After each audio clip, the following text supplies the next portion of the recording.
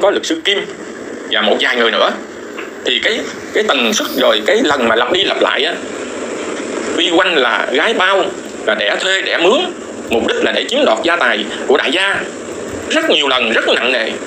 Những cái từ ngữ mà xấu xí, miệt thị người phụ nữ á, còn những Phương Hằng dành cho Vi Quanh rất nhiều lần mà bản chất câu chuyện thì Vi Quanh chỉ cà khịa là tại sao ông Dũng, bà Hằng đó là làm từ thiện mà không làm bằng tiền mặt mà làm bằng đất.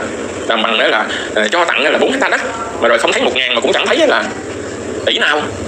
Cái đó dù có cho coi là cà khịa đi nữa thì nó cũng là hợp lý và có ý nghĩa là tích cực. Nếu mà vợ chồng Dũng Hằng mà có trả đũa một cách ngọt ngào nhất á, thì bỏ ra vài trăm tỷ.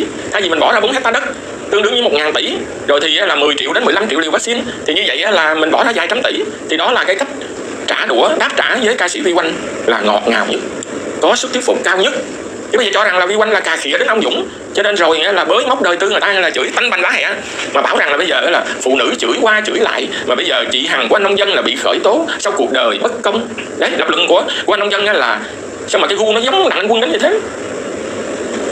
Thầy trò giống nhau quá. Cho nên là mình nghĩ là hai cái lần livestream, ngày 19 và ngày 22 vừa rồi đó, thì à, chắc là cái anh chàng nông dân này cũng được là sự giới thiệu của đặng anh quân. Cho anh tham gia hai cái lần livestream cuối cùng đi đến là bi kịch cho nguyễn phương hằng. Thì à, thấy giọng điệu của anh nông dân nói nhưng mà cứ sợ nói nhưng mà cứ à, là cảm giác như rằng đấy là uh, bà con quý khán giả đừng hiểu thế này thế kia là tội nghiệp cho anh nông dân. Nói nhưng mà sợ. Nhưng mà rồi cuối cùng á là cái cách ma mị đánh đồng đúng sai là coi như là vô minh không phân biệt được. Rồi cuối cùng anh nông dân kết luận là đời sẽ bất công. Trong khi đó theo anh á, theo trình độ hiểu biết của anh á, anh nông dân á, thì anh sẽ chọn là đứng về phía một ngàn trẻ em mà lẽ ra được. Anh Dũng chị Hằng cứu giúp mà vi quanh đánh vào cái quỹ mẫu tim. Cho nên là anh ấy sẵn sàng đứng về phía một ngàn trẻ con. Một ngàn trẻ em. Chứ không gì là con của ca sĩ vi quanh cho nên mình phải bảo vệ vi quanh gì thấy không? Nói vậy thì không có còn ai đúng ai sai đó coi như là quê cả làng phụ nữ chửi qua chửi lợi mà đời bất công cho nên là chị hằng của anh nông dân là bị khởi tố. Đó, đưa ra cái lập luận vậy. Và hôm qua, thưa quý khán giả, tôi có nhắc đến một facebooker, Hà Thị Kim Ngân, sinh năm 1988 tức là nay là 32 tuổi gương mặt cũng rất sáng sủa cũng có nét hao hao giống Nguyễn Phương Hằng. Mà ôi cái cách lập luận rồi dẫn chuyện rồi là xéo sắc. Cũng một tám một mười một chín một mười với Nguyễn Phương Hằng. Thì uh, qua đó nó gợi cho tôi một cái nỗi buồn. Như vậy là qua cái drama Dũng Hằng Yên này thì như tôi nhận định cái drama này Dũng Hằng á, là xô đẩy lên cộng đồng mạng á, không phải vì bản thân cái drama này không phải vì chính cái kịch tuồng đó là Dũng Hằng Yên mà để họ nghe là tung cái quả mù để là che lấp, vừa che lấp vừa đánh lạc hướng dư luận để à, là không ai quan tâm đến những tồn động hai chục năm qua của à, là công ty cổ phần Đại Nam. Hai chục năm qua. Nếu tính từ cái văn bản tháng 1 năm 2002 của Thứ trưởng Bộ Công an, Trung tướng Lê Thế Tiệm là trưởng ban chuyên án, ký văn bản là cần phải khởi tố vụ án kinh tế nghiêm trọng của công ty Thanh Lễ và công ty Phi Long. Rồi dẫn dắt từ đó đến nay thì cho thấy rằng, mà báo chí bây giờ thông tin cũng đây thôi, công ty cổ phần Đại Nam là hiện giờ là nợ 7 ngàn tỷ nhưng mà người ta cứ nghĩ là anh Dũng, chị Hằng là giàu có, chăm lo cho người nghèo. Mà người ta không nghĩ là bây giờ là công ty cổ phần Đại Nam làm cái gì mà dẫn đến là tổng cái số nợ là 7 ngàn tỷ mà mất khả năng chi trả. Rồi giải quyết cái khoản nợ đó như thế nào? Hay là vào ở tù rồi là quê? Đó, họ không thấy vấn đề cốt lõi đó. Cũng ờ, chị Hằng thương dân vì người nghèo. Rồi đó là người ta chống phá chị Hằng không thương tiếc, đánh phá vào quỹ từ thiện. Cứ thế. Đó, thì qua đó, thêm một cái nỗi buồn là cái trình độ dân trí của đất nước mình của người dân mình. Nó khiến cho chúng ta rất đáng buồn. Cho nên là chú Thủy Vlog cho rằng 97 triệu dân thì chỉ có 2 triệu dân là chống đối Nguyễn Phương Hằng còn 95 triệu dân là yêu mến đó là Phương Hằng. Còn là ở đây á là cái cô Hà Thị Kim Ngân này á, đưa ra số cũng chắc định 80% dân số là hiểu và bảo vệ chị Hằng không biết những con số đó đâu ra. Rồi, cũng như thường lệ, tôi xin giới thiệu hai, ba cái bình luận ngắn thôi. Rồi à, tôi sẽ giới thiệu một cái clip của Facebooker Hà Thị Kim Ngân. Để quý vị thấy là Nguyễn Phương Hằng và ekip của bà ta đã ma mị dẫn dắt cộng đồng. Nó để lại một cái di chứng, một cái di chứng mà tôi nghĩ là cũng cần phải có thời gian nhất định. Chứ không phải là Nguyễn Phương Hằng vào tù, rồi drama này kết thúc rồi là các cái uh, trang mạng xã hội bảo vệ và chống bà Hằng là tự tán hàng. Không nó sẽ còn dây dẫn và cũng như nhiều khán giả đã bình luận đó, ngay trong gia đình giữa vợ và chồng giữa chị và em ruột cũng chia ra làm hai phái mà rất gây go căng thẳng chứ không phải là dễ nhân nhượng. Đó. Tôi uh, xin phép giới thiệu uh, ngắn một vài cái bình luận. Bạn uh, Nguyễn Văn Quý ngắn gọn nhưng mà rất chăm biếm. Chị Hằng mãi đỉnh, chị Hằng mãi lên đỉnh. Nay thì chị Hằng rớt xuống vực sâu. Kkk đó là khán giả Nguyễn Văn Quý. Chị Hằng mãi đỉnh, chị Hằng mãi lên đỉnh. Nay chị Hằng rớt xuống vực sâu.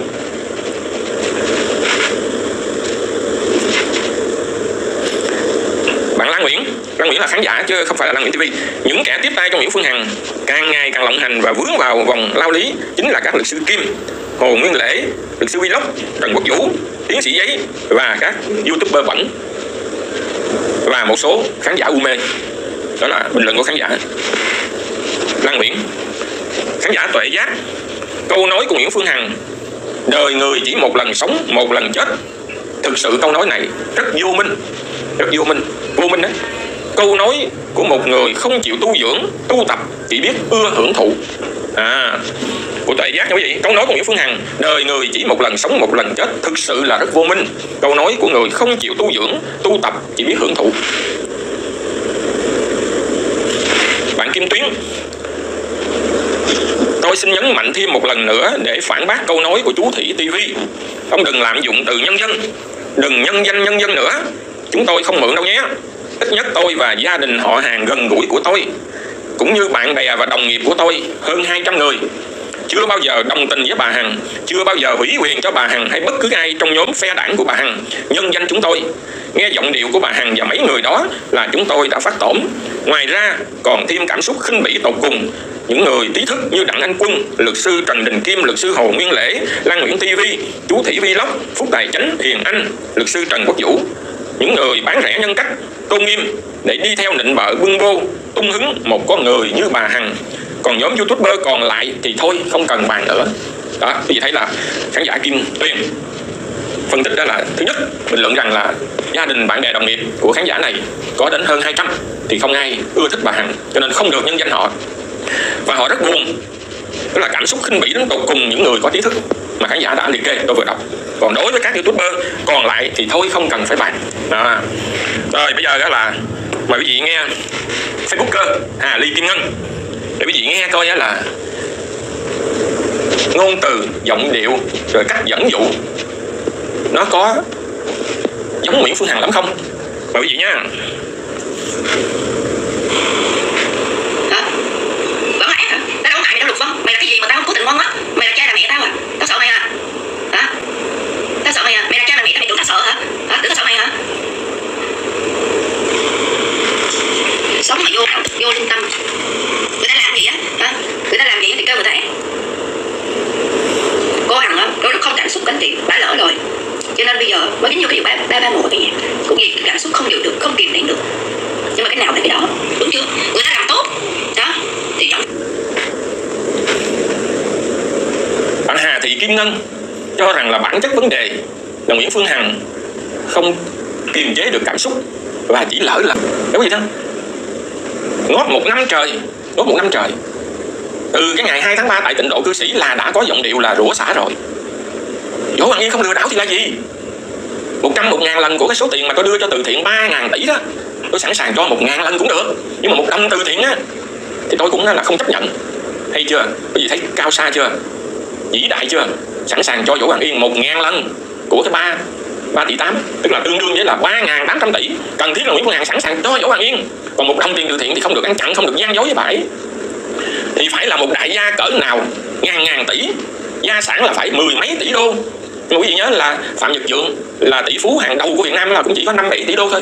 Mà Phương Hằng thì từng rêu rao rằng là giá trị tài sản hiện nay của Nguyễn Phương Hằng là mười mấy tỷ đô à, cho nên ngay cái tháng 6 đầu tiên ngày 2 tháng 3 năm ngoái thì Nguyễn Phương Hằng đã rất là hùng hồn. Một ngàn lần số tiền tôi đưa cho giải Hoàng Yên 3 tỷ 8 tôi sẵn sàng cho. Nhưng mà một đồng tiền từ thiện không qua mặt tôi được. Thế thì không lừa đảo là gì? Có gì thấy chưa? Đó là không kiềm chế được cảm xúc đó chắc. Đó là lỡ lời đó chắc. Rồi như tôi nói ngày 2 rồi tới ngày 3 là nộp đơn tố cáo. Lúc đầu là 100 là 35 tỷ sau đó là công an kết thúc là 183 tỷ. Rồi đó là đến ngày 16 tháng 3 thì cả vợ chồng lên chủ trì cái buổi họp báo ôi ai mà yếu bóng vía đó? Thì thấy rằng chỗ Hoàng Yên kỳ này là tan nát cuộc đời không còn cách nào mà ngóc đầu dậy được. Nhưng mà sau đó rồi thực hư như thế nào? Qua ba cái quyết định của cơ quan chức năng là công an thành phố Hồ Chí Minh công an Bình Thuận. Đó, là đã kết luận Võ Hoàng Yên không có dấu hiệu nào phạm tội cả không có hề ma mị. Trong là việc giao dịch với vợ chồng Dũng Hằng để mà lấy cái tiền từ thiện đó để rồi là ăn chặn hay là gian dối. Cũng không có dấu hiệu lừa dối hay là bệnh nhân cũng không làm chết người trong khám chữa bệnh. Qua không. Rồi vợ chồng Dũng Hằng cũng không buông tha. Ủa cái đó là lỡ lời đó sao? Đó là lỡ lời đó à? Ừ? mà hôm rồi tôi thông tin quý vị đó. Võ Hoàng Yên đã chính thức tố cáo lại bà Hằng rồi. Người ta cảm thấy là quá sức chịu đựng. Và cái chịu đựng đó nó cũng không đem được ý nghĩa gì. Dù có mang nặng tư tưởng là từ bi buông bỏ của nhà Phật, thì càng buông bỏ, càng nhẫn nhịn, thì Nguyễn Phương Hằng càng rắn tới. Cho nên rồi tôi đọc một đoạn tin của báo tuổi trẻ đó, trong các đơn tố cáo là có đơn của Võ Hoàng Yên. Thì đó là thông tin cũng khá mới. Và Võ Hoàng Yên cũng đã chính thức phản ứng. Là sao? Cô Kim Ngân có nghĩ rằng là suốt hơn một năm qua đó, là chị Phương Hằng của của em đó, em Kim Ngân nè. Chỉ có lỡ lời với Võ Hoàng Yên đó thôi sao? Chỉ lỡ lời đó à? Đấy. Và cái cách lập luận của anh nông dân cũng y xì. Hai người phụ nữ, do nóng nảy, chửi qua chửi lại, mà bất công cho chị Hằng quá. Chứ riêng là nữ nhân lực anh nông dân đó, thì là sẵn sàng đứng về phía một ngàn trẻ em. Bởi vì ca sĩ Vi Quanh tấn công vào quỹ mẫu tim của anh Dũng, chị Hằng, cho nên là anh nông dân sẵn sàng đứng về phía hàng ngàn trẻ em mà sắp mất cơ hội được vợ chồng Dũng Hằng cứu giúp. Vì thấy các lập luận chưa? Kinh hoàng. Bởi vì cái người nào mà thiếu hiểu biết cái người nào mà không theo dõi kỹ cái thông tin này thì đâu phải chỉ là đặng anh quân mà một anh chàng cử nhân lực. Rất là trẻ tuổi rất là bảnh trai rất là bảnh tỏn mà rồi là cũng lập luận như thế. Coi như giữa vi quanh với là Nguyễn Phương Hằng là vấn đề cốt lõi là hai người phụ nữ chửi qua chửi lại. Và bây giờ đó là không biết như thế nào không hiểu nổi tại sao mà chị Hằng bị khởi tố. Cuộc đời thật là bất công. Còn một, một, một câu sau nữa đó cuộc đời thật là bất công cho nên sợ gì đó nha. Anh cử nhân lực trẻ tuổi nó nói trên cộng đồng mạng đó rồi anh còn nói ngứa cái này ngứa khi nó nghe cái hết hồn luôn á. Còn thầy giáo của anh thì à, rảnh háng. Nha yeah. ghê lắm. Rồi, bây giờ mời quý vị trở lại. Cô Kim Ngân 32 tuổi. Cũng xinh đẹp lắm đấy, thưa quý vị. Công nhận người ta chứ, đúng không cả nhà người ta làm tốt thì cũng phải giận công nhận người ta. Đó. Rồi mà làm tốt người làm không ai gì làm sai một lần thì cả thấy, đúng không? Bởi em đọc cái luận em nóng máu với lại cái con này. Ừ. con người sống không có cái trái tim đạo đức ở đâu chứ chị. Người ta làm tốt thì mình dẫn phải công nhận người ta làm tốt. Người ta sai mình dẫn nói người ta sai. Đó mới là một người công bằng. Những gì người ta làm đóng góp cho cái xã hội này rất là nhiều. Đôi lúc người ta lỡ lời cái lỡ lời có giết chết được ai không? Hả? nhưng mà quý vị nghe chưa? Người ta làm tốt 10 lần mà chỉ lỡ lời một lần mà không đối xử với Nguyễn Phương Hằng công bằng. Bởi vì cô Kim Ngân này luôn luôn có một niềm tin rằng Nguyễn Phương Hằng cứu giúp làm thiện nguyện, rất lớn. Nhưng mà các video trước tôi phân tích rất kỹ rồi, nha. Làm thiện nguyện của Đại Nam là không phải tự tâm, mà điều cả là một quá trình lương lẹo. Vừa để đánh bóng tên tuổi, mà vừa là để trốn thế thứ nhất là không có hề lấy một khoản tiền nào từ lợi nhuận như họ công bố. Họ không bao giờ lấy cái tiền lãi ròng để đi làm từ thiện.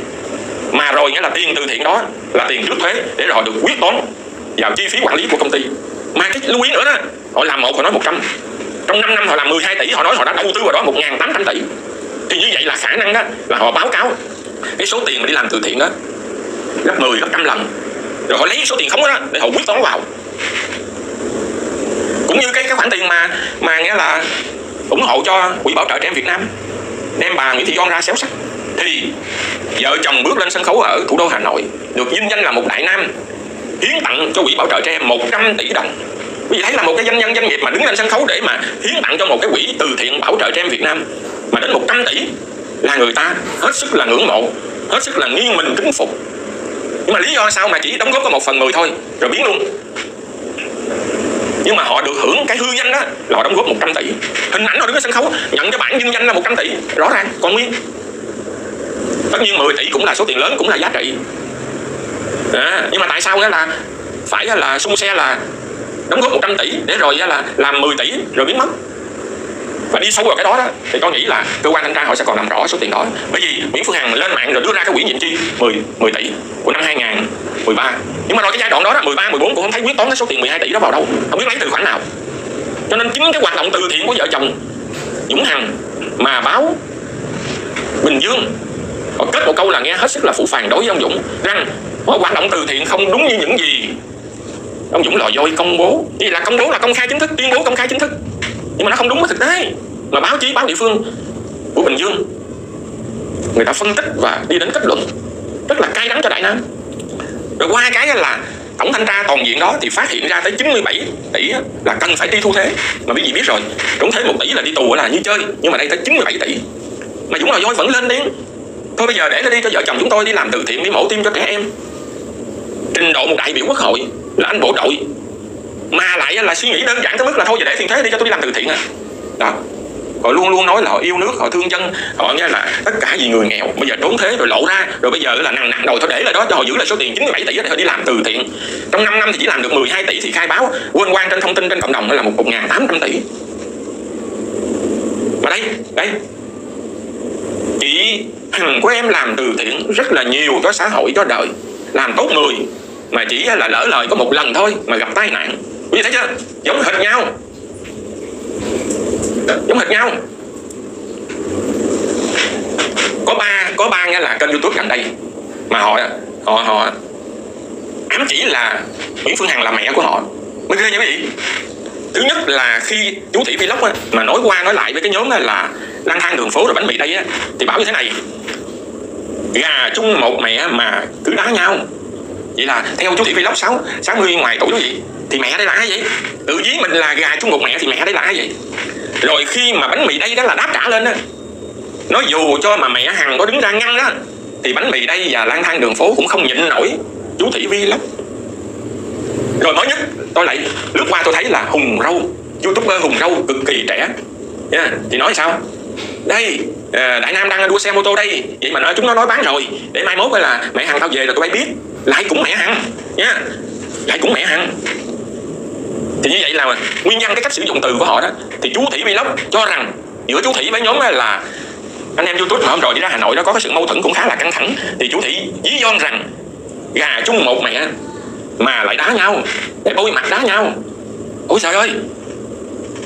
Chú Thủy từng ấy tuổi, ít nhất là cũng phải lớn hơn nguyễn phương hằng một con giáp mà tự dí von là mình với các kênh youtube khác mà đang hòa lời qua tiếng lợi đó là gà cùng một mẹ. Mẹ nào vậy trời? Đúng không rồi bánh mì đây. Thì nói là thẳng thừng luôn rõ nét luôn không có dí von không ám chỉ gì cả. Ông thủy này mà như thế thì mẹ hằng mà có đứng ra ngăn cản thì chúng tôi cũng nói thẳng chứ không nhân nhượng chú thị được nữa. À, bánh mì đây thì gọi là mẹ hằng luôn. Rồi mới nhất như tôi nói hùng râu cũng là mai mốt mẹ tao đi tù rồi. Mai mốt mẹ hằng tao về rồi chúng bay biết. Nghe chưa?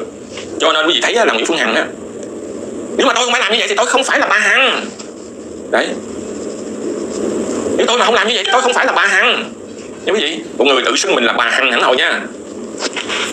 Rồi, quý vị nghe tiếp đó là một fan u mê. Kim ngân.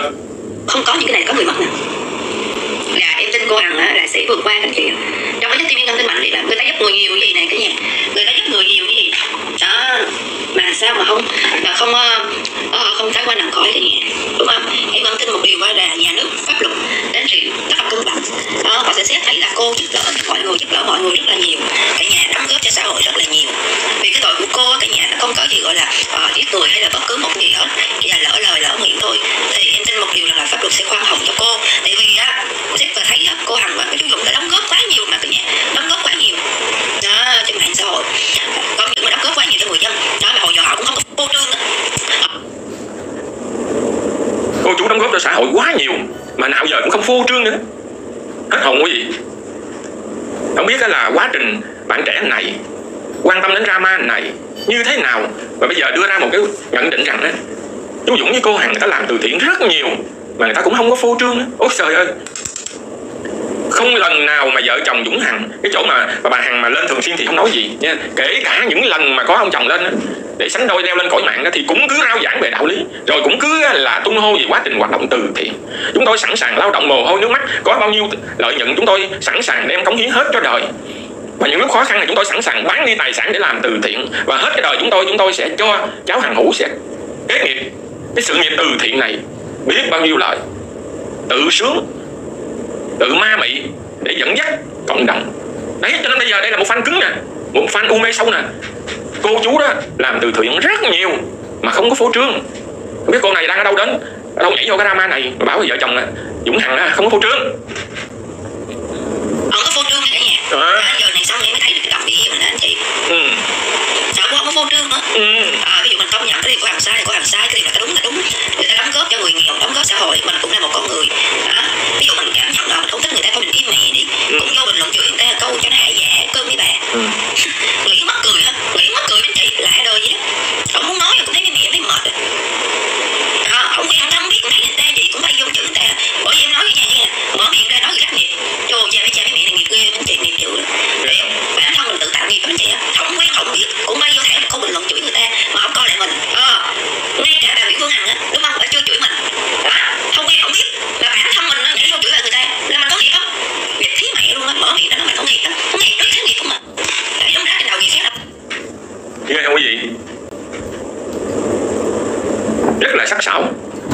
cái là không có đúng sự thật hơn một năm qua có bao giờ Nguyễn Phương Hằng lên livestream mà không chửi hay không thưa quý vị nếu nói 100 lần livestream mà Nguyễn Phương Hằng không chửi đó, thì tôi nghĩ chắc là xác suất là một phần trăm. Một phần trăm là quả may chứ còn 99 phần trăm là đều có chửi. Còn mà chửi lông trời lỡ đất, chửi kinh hoàng, kinh thiên động địa, thì thôi đầy dẫy đầy dẫy mà cái cô này xinh đẹp như thế, miệng lưỡi lanh lợi như thế. Chị hằng không chửi ai chứ làm từ thiện cũng không có phô trương nữa. Trời ơi, nếu mà mình có thần tượng, mình có à, say đắm, thì mình cũng cố gắng nói đúng sự thật một chút chứ không lẽ bây giờ mình thần tượng chị hằng cô hằng rồi, bây giờ mình phải nói một cách đó là nó sai trái đến mức như vậy sao? Mà đang nói trên cộng đồng mạng. Mà nói như vậy. Cho nên là tôi để ý, tôi thấy là những cái bình luận đó, người ta phản đối cô này cũng gắt lắm. Cho nên là cô này cũng đang chửi lại đó. Đang chửi lại với các cái khán giả nhào vô bình luận đó quý vị.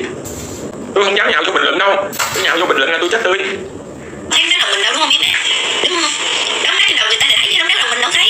Người ta không biết không biết cũng sẵn sàng bao vô chửi người ta Ừ. à và và kêu là người khác nghiệp. Mà sao được cái mình nghiệp ha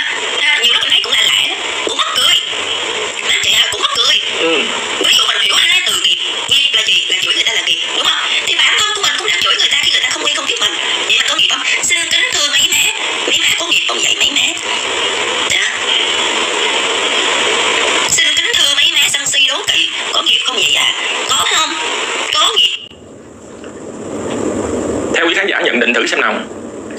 Với cái cách lập, lập luận và giọng điệu của cái cô Facebooker Hà Thị Kim Ngân này thì sẽ bao lâu nữa? Sẽ nối ngôi sẽ là sao nối ngôi của Nguyễn Phương Hằng tôi rất là xéo sắc. Và dùng từ ngữ cũng tôi thấy là sao mình lại giống quá. Giống thần tượng là đương nhiên đó quý vị. Cái mình thần tượng ai đó mình nói giống theo giọng điệu của người đó là nó rất phổ biến rất dễ hiểu. Và đây là một trường hợp điển hình đây nè xéo sắc miệt thị, gai độc, mà binh binh vực là binh lấy được. Nguyễn Phương Hằng mà đi vào tù chẳng qua là một sơ suất, một lỡ lời thôi. Còn việc tốt cô chú là làm rất nhiều và không hề phô trương. Thì bây giờ mấy cha, mấy má nhào vô chửi người ta, không biết khẩu nghiệp, không sợ khẩu nghiệp. Đó, thì Nguyễn Phương Hằng cũng vậy thôi, cũng y xì. Cho nên gì thấy không? Như tôi nói phần đầu đó, cái drama Dũng Hằng Yên, nó để lại một cái di chứng cho xã hội mà không dễ gột rửa nha. Cái cô này mà khả năng là sao nói ngôi với Nguyễn Phương Hằng á, thì tôi nghĩ chỉ cần 3 tháng 6 tháng nữa thôi chứ không cần lâu. Trẻ trung rồi biết lập luận rồi biết dẫn dắt câu chuyện như thế này, thì là sẽ là sao nói ngôi.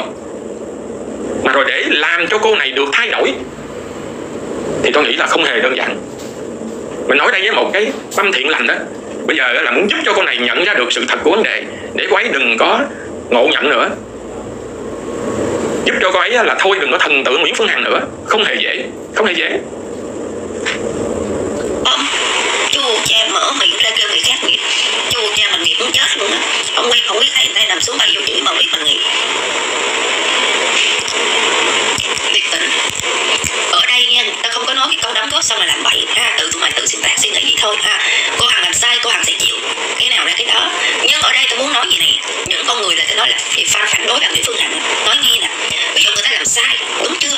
Nhưng người ta đang chịu trách nhiệm trước pháp luật đó đúng chưa? Đúng. nhưng mà cái người ta đang làm đúng mình xét vào cái tình mình thấy dù sao người ta cũng làm thiện giúp đỡ đời giúp đỡ người quá nhiều. Đôi lúc trong cái cuộc đời ta mắc cái sai lầm thì người ta đang trả giá đó. Thì hà cớ gì mấy người cũng là một con người vô lương tâm vô đạo đức vậy? À, chi vậy mấy bạn à, nhào vô người ta chi vậy? Mình lên cõi mạng. Mà mình nói như thế nào mà để khán giả người ta vô người ta bình luận người ta chửi? Mà chửi nhiều quá. Thì mình phải à, là bình tâm cẩn thận để xem lại mình. Có mình có đưa ra những cái thông tin mà nó ma mị hay không? Còn không thì mình à, là cứ lấp cứ xóa chứ sao mà còn quá trẻ quá xinh đẹp như thế mà lại là xưng tao? Sao lại xưng tao? Rồi cho rằng tất cả những khán giả như vậy đó thì vô lương tâm.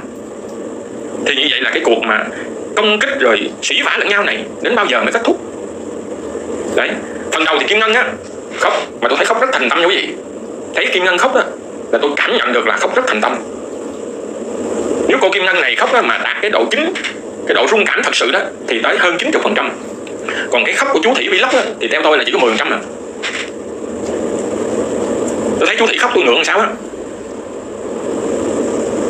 nhưng mà cô này khóc lại là quý vị cứ xem nha khóc mà tôi thể hiện là rất thành tâm á, chứ không phải đơn giản. Cho nên tôi mới nói là cứu giúp cho cô này á, để thoát ra khỏi á cái đam mê, cái mê muội đối với thần tượng Nguyễn Phương Hằng này á, là cũng khó đó. Phải cần có thời gian đó chứ không dễ đâu. Và những đối tượng như vậy là rất dễ bị kích động. Người ta đang trải cái vé đó? Bộ không thấy hả? Bộ không thấy hả? Mày mắc mới gì mà không không biết nhảy vô chữ người ta chống gì mà đạo đức lương tâm để đâu cũng chả biết. Nữa cái em nói thiệt á đạo đức lương tâm cũng biết ở đâu nữa chị. Và lẽ vô thấy người khác là, là chữ hả? Người ta trả giá rồi. Thì tốt hết mình là một con người đúng không cả nhà? Tốt hết mình là một con người. Mình thấy người ta như vậy mình cảm nhận mình không thích không thương người ta thôi đúng không thì mình đừng có bình luận những cái lời mình đừng có bình luận những cái lời mà nó kiếm nhẹ dù sao mình cũng là một con người người ta không đụng ra mình người ta không đụng tới mình thì mình đừng có đụng tới người ta đó là tôi muốn nói như vậy đó nha Kim Ngân Ngân nói mà không có hiểu bởi vì chính cô ấy á, bào chữa cho Nguyễn Phương Hằng mà không có tôn trọng sự thật. Cho nên chính khán giả của cô ấy á, của Facebooker này nè người ta giàu đông quá người ta chửi. Đó nha. Ví dụ như một khán giả bình luận là mày thương bà cuồn cuộn quá thì vào kia ở chung với ờ, bà cuồn cuộn đi. Đó. Thì bây giờ mình ờ, là cứ khiêm tốn cứ tôn trọng khán giả. Chỉ sợ mình nói không ai nghe chứ còn mình nói mà người ta vào ta bình luận như vậy thì mình cũng phải tự ờ, là kiềm chế để mình suy xét. Chứ bây giờ không biết người ta bao nhiêu tuổi mà mình còn rất là thanh xuân như thế. Mà mình xưng tao. Rồi mình nói là sĩ vả nhục mạ qua lợi. Vô lương tâm, vô đạo đức. Rồi đến bao giờ? Đến bao giờ mới có một cái sự đồng cảm, có cái sự hiểu biết lẫn nhau? Hay là thần tượng của ai nấy tôn thờ? Đấy. Nhưng mà thật ra mình cũng dễ hiểu cho Kim Ngân bởi vì khi đã thần tượng rồi đó thì ai động đến thần tượng mình đó là mình chịu không nổi. Rơi vào tình thế đó. Và cái phần đầu đối diện thì là Kim Ngân vừa hát, rồi vừa mở những cái clip lưu trong máy đoạn buồn đi mưa. Ôi, Phương Hằng hát tới đâu là Kim Ngân khóc. Khóc thổn thức. Khóc rất chân thành. Tôi khen thật đó khóc rất chân thành. Mà chính cái chân thành đó tôi mới âu lo, mới sợ hãi. Và như cách lập luận của Kim Ngân quý vị nghe rồi đó. Chị Hằng là số 1 làm từ thiện, chăm lo cho người nghèo rất nhiều mà không hề phô trương. Đó, chính vì cái hiểu sai lầm một cách quá đáng như vậy đó, cho nên mới dẫn đến cái hệ lụy là quá thần tượng. Thần tượng một cách quá đáng một cách mù quáng bất kể chết. Cho nên ai vô bình luận khác mình là đốt chết yeah. người ta không đụng tới mình thì mình cũng đừng đụng tới người ta. Đó là lời mà tôi muốn nói như vậy. Cái đâu có phải là người ta đụng tới mình bây giờ mình cảm nhận mình không thích người ta. Thì thôi mình lướt. À có gì mình vô bình luận chửi nhau chứ vậy? À, chửi xong rồi ăn uống vỗ phẻ hả? À, chửi nhau xong mà ăn uống ngủ nghỉ ngon mát khỏe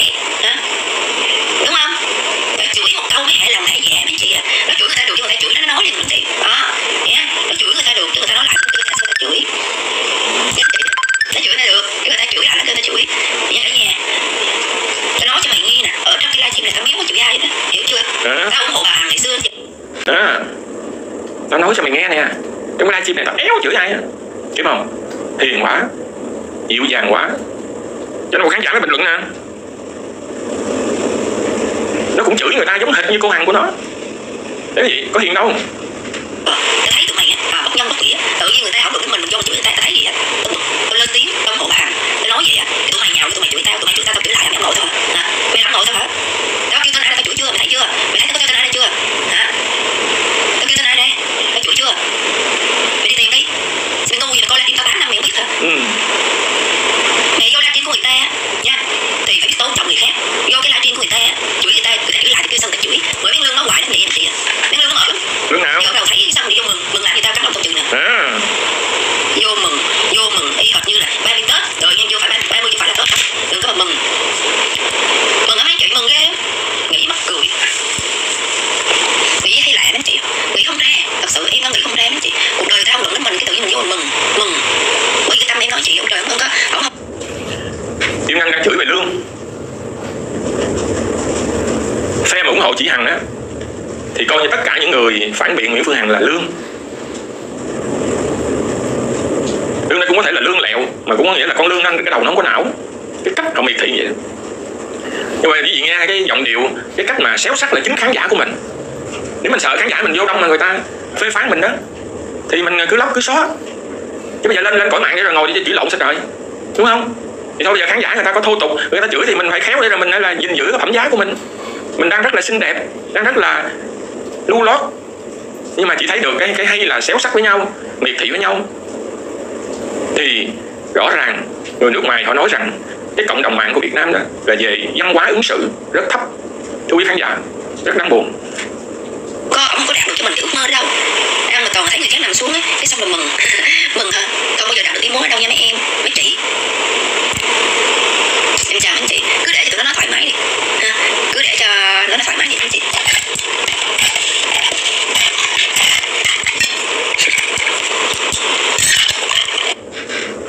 Kim Ngân cho rằng là thấy chị Hằng, thấy cô Hằng người ta nằm xuống. Sao đi tù mà hãy dùng cái từ là nằm xuống vậy? Phi Nhung mà bị Nguyễn Phương Hằng hành hạ về mặt tinh thần. Cho nên là phải giỏi hơn đã làm lành cố, làm lành cố hát cho chị Hằng một bài cũng đoạn buồn đi mưa. Nhưng mà chị Hằng không buông tha, không dừng lại. Cho nên chọn cái hướng đi bằng cách là đi làm từ thiện đi nấu nướng lo từng hộp cơm cho người nghèo giữa đại dịch tại thành phố Hồ Chí Minh. Để hy vọng là nguôi ngoai để giữ lại cái hình ảnh đẹp của người sĩ, nghệ sĩ trước công chúng. Rồi Nguyễn Phương Hằng không buông tha. Rồi ngã bệnh chắc có lẽ là suy sụp tinh thần một phần ảnh hưởng đến cái khả năng đề kháng. Rồi Phi Nhung mới là người nằm xuống. Nguyễn Phương Hằng gây tổn hại làm suy sụp tinh thần thì Phi Nhung mới nằm xuống. Chứ sao bảo là bây giờ là cô Hằng của Kim Ngân là nằm xuống? Sao mà gọi là đi tù là nằm xuống? Hết hồn chưa bao giờ chưa bao giờ mà diễn tả người đi tù là nằm xuống. Nằm xuống là còn biết không? Phi Nhung, nằm xuống là chết tươi luôn. Về với cõi vĩnh hằng luôn. Không một lời từ biệt với khán giả. Đem cái nỗi đau về với ngàn thu, về nơi vĩnh hằng. Không biết nơi vĩnh hằng, phi nhung có biết rằng là mình đã được giải quan hay không? Đó là mấy một cái sự nằm xuống rất là đau thương. Và công chúng khán giả người ta mến mộ, người ta yêu cái cô ca sĩ hiền lành như phi nhung người ta mới căm giận nguyễn phương hằng. Có khi là không phải là nguyễn phương hằng là đụng đến người ta, nhưng mà đụng đến nghệ sĩ mà người ta ngưỡng mộ, thì người ta phản ứng lại phương hằng, cái đó mới là tự nhiên. Chứ bảo là nguyễn phương hằng có đụng đến không mà nhào vô chửi người ta. Đấy. Nhưng phải có cái tầm nhìn, phải hiểu cái quy luật của cuộc sống. Bản thân tôi cũng vậy. Tôi chưa từng gặp phi nhung. Nhưng mà tôi thấy cái chết của phi nhung, tôi rất là căm giận nguyễn phương hằng vì đến khi cả chủ tịch nước, biểu dương khen ngợi, phi nhung. Nguyễn phương hằng cũng không buông tha. Rồi người ta quả tán rồi, đưa tro cốt về mỹ, gia đình họ làm lễ quả, là lễ tang rồi. Lại gọi hồn ma, về để xéo sắc để miệt thị, kinh hoàng. Đó là tạo ra một cái ứng xử rất là phản văn hóa, rất là phản với, là truyền thống nhân văn của dân tộc Việt Nam. Kim Ngân đâu có thấy được cái điều đó, đúng không? Mà đang xéo sắc khán giả của mình. Mình lên livestream thì khán giả đủ thành phần người ta vào. Bây giờ ngồi mà chửi ta đôi này sao? Đó cho nên là cái cái tầm văn hóa quý vị vừa là cái trình độ tri thức không phải có học là có nhận thức tốt đâu nha gương mặt thì rất là sáng sủa, lời nói thì rất là lanh lợi. Nhưng mà không kém phần nữa là chua ngoa. Này tinh thần đâu lúc nào cũng tràn trề á ừ. à, ở đời ta đâu có nặng gì sống đúng đâu. Tinh thần nó tràn trề lắm. Sức khỏe tốt tinh thần tốt ổn định chị buồn là buồn gì biết không? Chị buồn là cô hằng gặp nạn. Đó buồn thương thương cảm cho một người phụ nữ mạnh mẽ. Đó mà phải gặp nạn thôi. Hiểu không? Hiểu không? Nha buồn là buồn vậy đó. Câu này nó cũng tương đồng với chú thị vlog nè. Kim ngân vừa nói á cái người phụ nữ mà mạnh mẽ như vậy đó thì phải gặp nạn thôi. Còn chú thị thì bảo sao vậy? Người phụ nữ như cô hằng thật thà thẳng thắn thì chịu nhiều thua thiệt. Cái khả năng quan sát như thế nào mà chú thị đã bảo là nguyễn phương hằng là một cái mẫu người thật thà thẳng thắn. Còn cô kim ngân này thì đánh giá thần tượng của mình đó là một người phụ nữ mạnh mẽ, cho nên gặp nạn là đương nhiên, chứ không mạnh mẽ. Chỉ mạnh mẽ thôi à chứ không có nhục mạ, không có rủa xả, không có miệt thị trà đạp người ta khủng khiếp, cô ấy không thấy. Tại sao mà chỉ thấy một chiều thôi vậy nhờ buồn cho một người phụ nữ đó để gặp nạn đó tội nghiệp cho cô chứ ta có làm sai làm gì đâu tao ngại mấy lương đâu mẹ mấy lương vô để nó tùm lum tùm lại vậy Ừ. hả hả hả mấy lương đó luôn đâu vô nhiều việc dạ trời đúng rồi cô hằng bẩm bả trong lòng người dân buồn là buồn gì đó chị buồn là tại cô hằng gặp nạn. Đó. Cô hằng gặp nạn. Bị công an khởi tố và bắt giam 3 tháng khám xét nhà như thế. Nhưng mà do gặp nạn thôi. Giống như một tai nạn do một con người thẳng thắn thật thà mạnh mẽ thôi. Chứ không phải là lỗi lầm vi phạm pháp luật quá nghiêm trọng cho nên dẫn đến cái chỗ là phải đi tù là đương nhiên phải bị pháp luật cưỡng chế là đương nhiên không hề thấy cái đó. Chỉ thấy là một người phụ nữ mạnh mẽ. Còn nguyễn phương hằng tự sướng sao? Các bác trung ương á, khen tôi á, là một người phụ nữ dũng cảm. Đấy kim ngân cho nên là mới khen là chị hằng là một người phụ nữ mạnh mẽ và gặp nạn thôi. Gặp nạn là một cái sự rủi ro thôi chứ không phải là tất nhiên không phải là đương nhiên. Đó, mà là do một cái bất ngờ thôi. Tội thương cảm Tội thương cảm. nữ làm ấm trong em mà không muốn. Ừ, tội nghiệp cô hằng ừ. xong rồi đi chơi mấy mấy vô kia vô vô chửi chửi làm gì đâu chửi biết. Nghĩ bắt cười. Kim Ngân đang khóc cho Nguyễn Phương Hằng. Những lời cũng thôn thôi ghê đó. Niệm ấm chăn im mà không muốn tại sao uh, kim ngân không uh, nghe những câu mà nguyễn phương hằng thách thức? Bắt tao đi nhốt tao đi thử có nhốt được mấy ngày. Tao là người biết cách sử dụng đồng tiền che thân tao là người có mối quan hệ. Tao là có tiền tỷ đô. Nên là thấy thần tượng đã đã đã tôn sùng đã tôn sùng thành thần tượng rồi thì bị mê hoặc bị mê hoặc. Cho nên luôn luôn thấy là cô hằng là lấp lánh như một gì sao vô bình luận nhiều lắm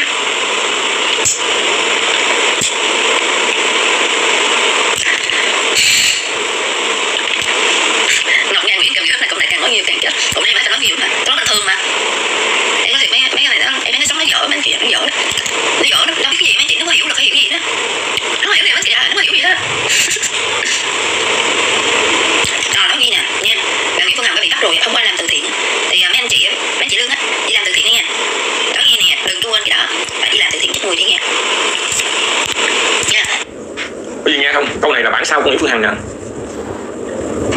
tụi bay đánh phá vô các quỹ từ thiện của tao bây giờ tao đóng cửa, tao ngưng. Tụi bay phải đi làm đi. Nha, tụi bay bỏ tiền ra, thay tao đi làm đi. Đó, thì bây giờ là kim ngân nói quy xì vậy đó. Nha. Giờ các lương vào đó bỏ tiền ra đi làm từ thiện thay cho cô hằng đi. Đây là bản sao? Cho nên là đã thần tượng rồi đó. Thì những câu nói, những lời nói, những cách nhấn nhá của nguyễn phương hằng thì nó đã thấm sâu vào lòng của họ. Cho nên họ tự nói ra nhưng mà chúng ta sẽ thấy rằng là giống như là bản sao. Giống như là bản sao phải đi làm từ thiện giúp người đi bây giờ bạn Nguyễn Phương Hằng bạn không có làm nữa bây giờ mấy anh chị á nha đó đi làm giúp người đi giúp người cho cuộc đời thanh thản tiền nhiều có làm gì bỏ cái sách nhiều nó cũ để giúp người nghe mấy chị nha nhớ nha ừ.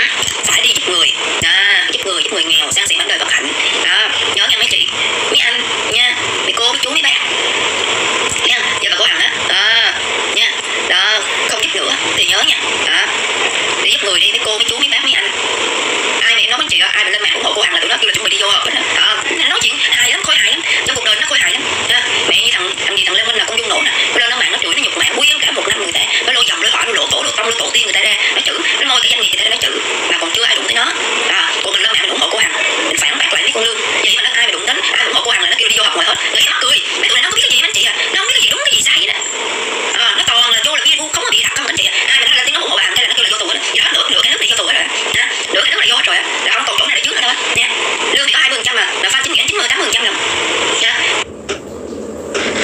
quý khán giả vừa nghe đó lương có hai chục phần trăm à còn fan chính nghĩa là tám chục phần trăm không biết họ có được cái số liệu này đâu hay thiệt chứ.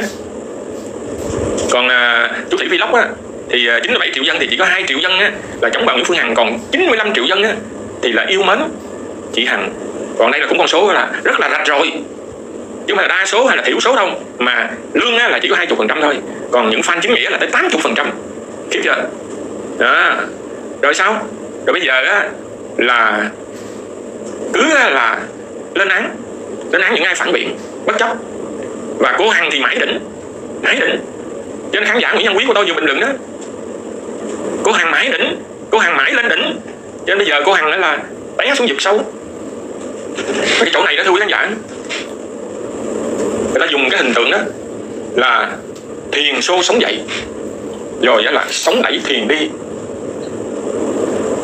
Cho nên là nguyên nhân rồi hậu quả, rồi hậu quả nguyên nhân, nó là một cái chuỗi dây chuyền khó mà tách ra. Đó ví dụ giờ mình hình dung là cái drama này là một chiến thuyền do vợ chồng Dũng Hằng lèo lái. Thì khi con thuyền mà nó ra khơi, thì thuyền nó sẽ xô, sống dậy. Vì thế là những chiếc thuyền mà nó chạy nhanh đó ở những con sông lớn hay trên biển đó, vì thế là chiếc thuyền mà đang chạy nhanh đó thì nó sẽ tạo ra những cái cơn sóng. Thì thuyền xô, sống dậy. Và rồi sóng nó sẽ đẩy thuyền đi. Thì những người như chú Thị Vlog như Hiền Anh, như Lan Nguyễn TV như Đặng Anh Quân, như anh nông dân. Thì ban đầu chỉ là những cái ngọn sóng lăng tăng nhưng mà khi chiến thuyền Nguyễn Phương Hằng lao tới, thì giật họ dậy. Xô những ngọn sóng nó dậy. Rồi sau đó, sóng lại đẩy thuyền đi. Rồi những người mà như Kim Ngân này, thì Nguyễn Phương Hằng Phương Hằng sẽ rất là thích thú. Bởi vì tôi thương người nghèo, cho nên người nghèo thương tôi. Tôi yêu nhân dân, cho nên tôi đi đâu là nhân dân, đi theo tôi tới đó. Này đây là một hình mẫu đây. Rất trẻ, gương mặt rất sáng, lời nói rất là sắc sảo, nhưng mà hơi chua ngoa. Và cái độ chua ngoa đó, nó giống lắm, giống Nguyễn Nguyễn Phương Hằng tôi lắm, nha. Và cái lập luận đó, không hề có cái tư duy độc lập, không hề có cái quan sát để mà nhận diện cái drama này như thế nào, cái thiện nguyện của vợ chồng Dũng Hằng của Đại Nam như thế nào, gần như họ mù tịt. Đó. nhưng mà một mực bảo vệ quyết liệt, gần như là mọi giá sẵn sàng để làm miệt thị. Những người vào bình luận trái ý của Kim Ngân nói gì cũng rồi vậy đó Ừ. ha mày qua kênh con dung nổi kìa. Mày coi nó chửi bóng khỏi kìa. Hả? Mày qua mày coi tất cả các kênh kìa. Lôi doanh nghiệp cho dân người ta ra ta chửi kìa. Hả? Để ai cũng qua kênh Dung Nổ kìa nó chửi bắn khối kìa. Kim Ngân có biết Dung Nổ là ai không? Xuất thân của Dung Nổ là như thế nào không? Cái quá trình của Dung Nổ là bước vào cái drama này như thế nào không? Chỉ cần Kim Ngân biết như thế này thôi. Nha. Ngày 14 tháng 11 thì đã được kịch bản của Dũng Hằng dàn dựng. Nha. Sau một thời gian mà Dũng lên kể về đạo lý rao giảng về đạo lý. À, thì Hoàng Kim Dung mới cùng một người nữa, ôm hai bó hoa quá xá là to, bước lên. Cho tụi em xin lại vợ chồng Phật sống, anh Dũng chị Hằng. Hiểu chưa? Có khi nào mà một cái buổi là họ gặp gỡ các fan rất là bài bản có MC Tân này kia nọ, dẫn chương trình hay ho lớp lan đến như thế mà có hai người phụ nữ là tự nhiên là dám leo lên sân khấu không? Kịch bản hết. Nha. Thì họ dàn dựng cho hai người phụ nữ này, trong đó có Hoàng Kim Dung, lên để rồi cổ suý, tung té họ là vợ chồng Phật sống, xin được lại Phật sống thì Nguyễn Phương Hằng rất là sung sướng bước ra liền. Thưa quý khán giả đây là hai bản sao của Nguyễn Phương Hằng. Nguyễn Phương Hằng mà có ngã xuống thì triệu triệu người như những người bạn này sẽ đứng lên. Vừa là bản sao vừa là sẽ nối nghiệp Nguyễn Phương Hằng. Khi Nguyễn Phương Hằng ngã xuống thì họ đứng lên. Rồi cũng Dũng Hằng chào đón mời gọi để hy vọng là Hoàng Kim Dung về Vũng Tàu á, là làm một cơ sở đại lý để kinh doanh găng tay. Đúng không vậy để kinh doanh găng tay. Nhưng mà sự cố nó xảy ra rồi cũng do cái ứng xử không có khôn khéo thì đã xô đẩy Hoàng Kim Dung. Từ cái chỗ là một bên Hoàng Kim Dung thì đòi lại vợ chồng Phật sống. Còn Nguyễn Phương Hằng cho rằng đây là bản sao của mình. Những cái ngôn từ đó để ca ngợi, để tung té với nhau là rất không bình thường. Cho nên dẫn đến cái chỗ họ chia tay cũng không bình thường. À, cho nên Kim Ngân là phải phải hiểu cái câu chuyện giữa Hoàng Kim Dung và vợ chồng Dũng Hằng như thế nào. Chứ bây giờ nói là vô ờ, xem ờ, con Dung nổ nó chửi xịt khối thì chỉ có vậy thôi thì đâu có đâu có thể nói đúng được cái câu chuyện đúng không? Phải có đầu có đuôi. À, chứ bây giờ chỉ lôi kéo khán giả vào để rồi lên án hay là Dung nổ. Nhưng mà tại sao Dung nổ? Tại sao nghĩa là vợ chồng Dũng Hằng là vừa bước xuống là sân bay là nội bài thì là Hoàng Kim Dung là mạt sát? Âm văn đó nó có đầu có đuôi. Nó có sự tích. Chứ không hề là khí không khí không đó giống như kim ngân nói là không quen biết không phải đây không phải là những người không quen biết không phải là dung nổ là nổ đâu phải mà nó có là căn nguyên cội rễ nha Ủa cô Hằng ơi, nó kêu là vô tù mình chị Mất tôi đó Đó mấy cũng nói chị không anh chị à. Nó chỉ được chị thôi Con hơn Không kịp. Mỗi cá nhân nha Tao nói cho mày nghe nè Lương Ai cũng có quyền được yêu mến ai Đó là quyền của người ta. Mày hiểu không? Mày hiểu chưa? Mày hiểu không Lương? Sao mà Lương gì mà Lương có được cái nhiêu đó không à? Em nói chị được lại trời là kim ngân không có không có coi tôi là lương. Tao nói cho mày nghe là lương. Tao nói cho mày nghe là lương hết hồn không? Mà đó là công chúng khán giả của kim ngân đó nha. Mà cái cách ứng xử, xưng hô như thế thì quá khủng khiếp. Nó làm cho cái văn hóa ứng xử tốt đẹp, lịch sự, chuẩn mực, truyền thống của người dân Việt Nam. Nó bị phá vỡ, nó bị phá vỡ. Một cô gái trẻ đẹp như thế này mà gọi là gom hết. Lương là mày, tao tao nói cho mày nghe nè, lương. Đó mà tôi thấy những cái lần mà mà Nguyễn Phương Hằng là kéo quân đi chỗ này chỗ kia đó, thì là các kênh youtube đó là ăn theo Nguyễn Phương Hằng đó. Anh em ơi, coi chừng lương nó vào nha, coi chừng lương nó vào nha. Đó, dạng vậy đó. kính thưa quý khán giả, thì đúng ra là cô Kim Ngân này thì à, không phải là một đối phương hay là một đối tác mà để tôi phải đưa ra bình luận. Tin chắc là hôm nay quý khán giả xem video này sẽ nói rằng là tại sao được sư sĩ phải đi à, tranh luận phản biện với cái dạng của Hà Thị Kim Ngân này nhưng mà như thưa từ đầu đó. Thì tôi có nói rồi đó. Tôi muốn minh chứng cho quý khán giả thấy rằng cái hệ lụy của drama Dũng Hằng Yên, Nguyễn Phương Hằng tự tự biến mình là nạn nhân của Võ Hoàng Yên. Còn cách nói của Dũng Lò Dôi thì bảo rằng, tôi đi mà tôi sập cái hố đó, thì tôi không để cho những người khác sập vào cái hố của Võ Hoàng Yên. Đó. Nhưng mà rồi sự thật là qua các cái kết luận của cơ quan điều tra, và đến nay là Võ Hoàng Yên đã tố ngược lại, thì cho thấy sự thật nó nằm ở đâu rồi? Sự thật và lẽ phải nó ở đâu rồi? Đã thượng tôn pháp luật thì những cái văn bản, những cái quyết định của cơ quan bảo vệ pháp luật mà theo yêu cầu, theo nội dung tố cáo của mình, thì mình phải biết chấp nhận sự thật chứ.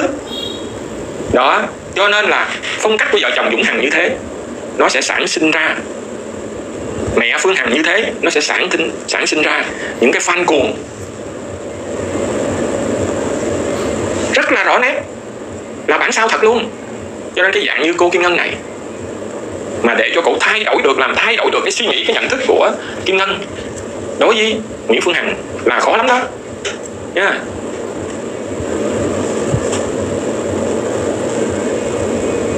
dời núi lấp biển chứ còn là dễ đó. Vì thấy ở rạch giá đó, người ta sang lắp cả một cái bãi biển để làm một, thành một cái khu phố. Nha. Yeah. dời núi lấp biển chứ còn dễ đó. Thay đổi suy nghĩ, nhận thức của những người như cô kim ngân này, theo tôi nghĩ là khó. Thì tại sao có những người như kim ngân đây? Thì nó là cái hậu quả của cái drama Dũng Hằng Yên. Đó là di chứng, đó là hậu quả. Nên tại sao mà chúng tôi từng thể hiện cái sự bức xúc? Và chúng tôi rất cố gắng để cho công chúng khán giả của mình hiểu được cái bản chất của drama Dũng Hằng Yên. Để cho thấy rằng vợ chồng Dũng Hằng không hề là nạn nhân của Võ Hoàng Yên, mà họ cai cứu cái việc là Võ Hoàng Yên tháo chạy.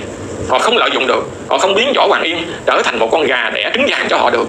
Cho nên họ căm ghét và họ trả thù trả thù tình và trả thù tiền. Bởi vì họ đã đầu tư chài mồi tình tiền mà cuối cùng họ thất bại hoàn toàn. Và tôi cũng từng nói, cái thất bại trước Võ Hoàng Yên là thất bại thất bại lớn nhất trong cuộc đời của Dũng Hằng. Bởi vì chính không chịu cam tâm, không cam tâm trước thất bại với Võ Hoàng Yên, cho nên họ mới xô đẩy lên cộng đồng mạng, mới tạo dựng nên cái drama này. Cái drama rất là xấu xí, dai dẳng và để lại hậu quả cho cộng đồng rất lớn. Đấy, thưa quý khán giả quý giả sẽ ngạc nhiên là tại sao hôm nay tôi lại đưa một cái cô kim ngân này ra để rồi có đôi lời giải thích. Thì tôi muốn minh chứng cho quý vị thấy là cái hậu quả của drama này rất lớn, rất sâu sắc, rất nặng nề, chứ không dễ dọn dẹp trong một số một chiều.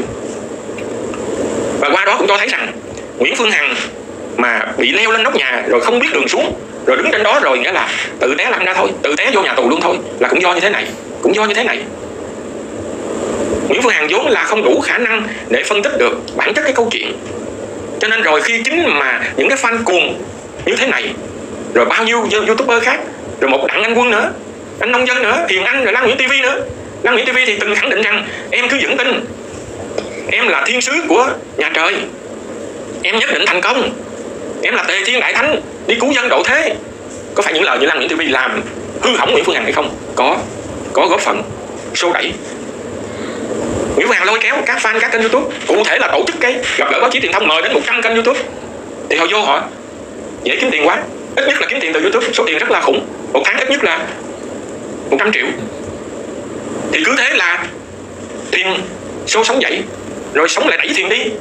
Đi đến lúc rồi nghĩa là giống như chiếc là Titanic. Được mệnh danh là không bao giờ chìm, mà khi da mạnh vào một cái tảng băng, gãy đôi. Thì cuộc đời của Nguyễn Phương Hằng tôi bây giờ nó cũng gãy đôi như chiếc thuyền Titanic có đúng không quý vị? Được mệnh danh là đỉnh, mãi đỉnh. Mãi trong lòng nhân dân. Nguyễn Phương Hằng chết là cho 97 triệu dân. Mãi mãi.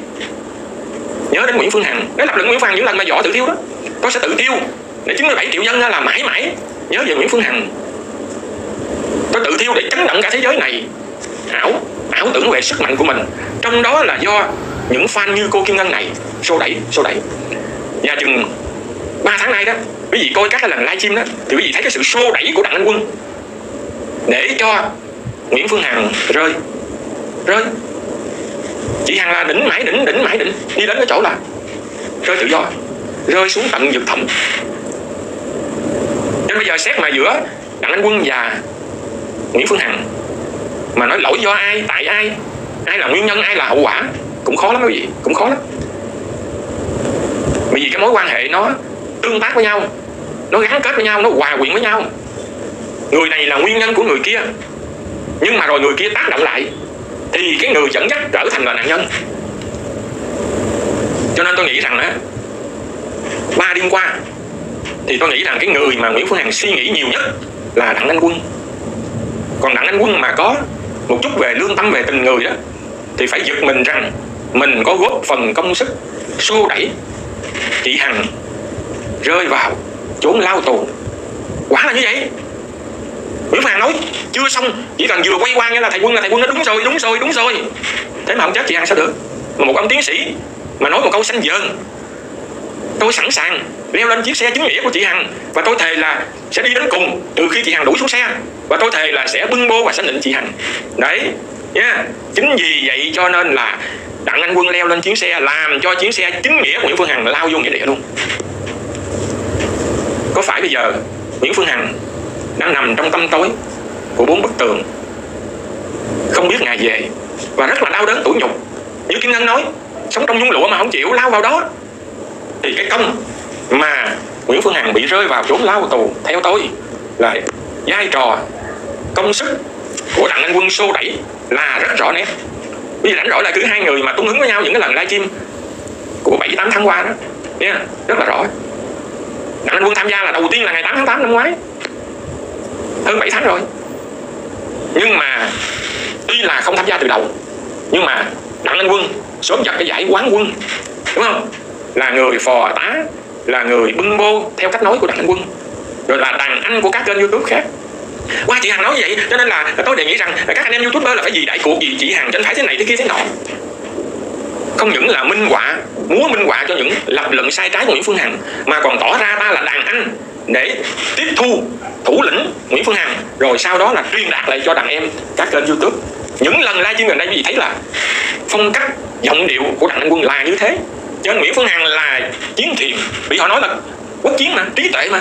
Thì chiến thuyền của nguyễn phương hằng ban đầu là lôi kéo đặng anh quân. Lôi kéo bước lên chiến thuyền chính nghĩa. Rồi sau đó, đặng anh quân sẽ là những cơn sóng xô đẩy chiến thuyền va vào tảng đá. Một tảng đá khủng khiếp lắm.